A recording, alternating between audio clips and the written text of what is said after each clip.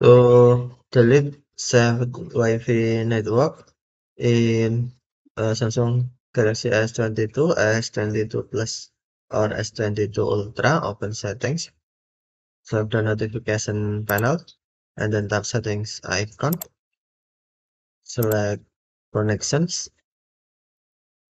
and then uh, tap Wi-Fi, tap Wi-Fi more icon or three dot icon, select advanced,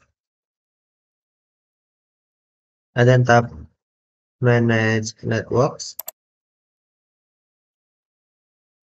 select uh, delete, and then tap or check network you want to delete for this network, and then tap delete.